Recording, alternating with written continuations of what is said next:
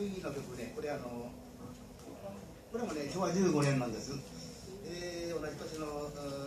曲なんですけどね、えー、今度はね高峰美恵子さんが歌った曲ですね「えー、湖畔の宿」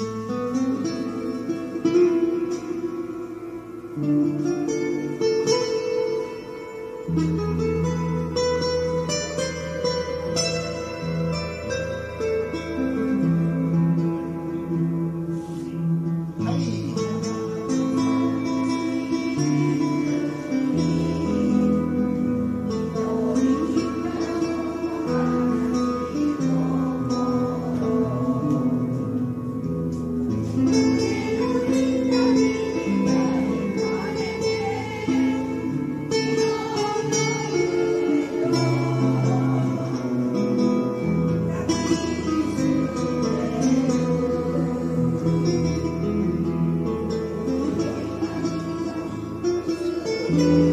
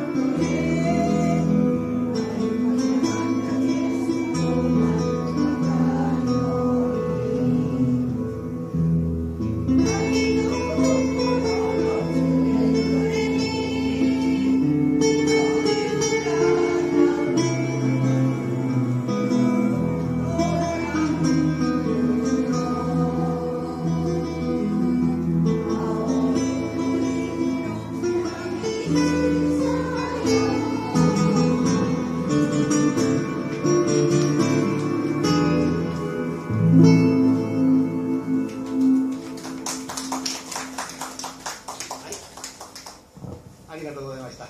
えー、昭和15年に、えー、高峰理恵子さんが歌いました「えー、ご飯の宿」でございました。